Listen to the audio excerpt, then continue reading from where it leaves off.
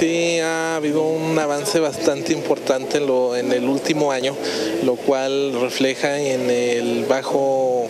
porcentaje de accidentalidad laboral que se tuvo en nuestro estado. A diferencia del año 2012, el 2013 representó un 50% menos y pues desde luego es de reconocer tanto a empresarios como a sindicatos ese compromiso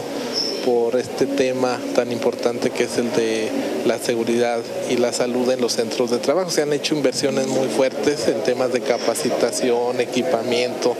en el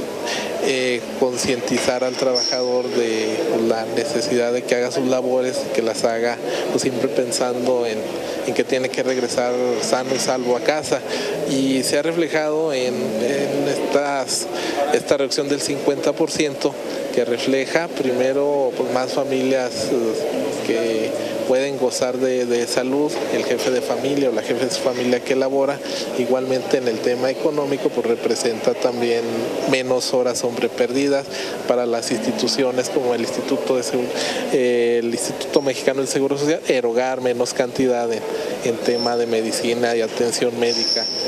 Eh, estamos hablando eh, cerca de 140 mil horas hombre, eh, las cuales se, re, se redujeron, traemos un índice de 280 mil horas hombres, traemos 140 mil, lo que representa alrededor de 24 millones de pesos.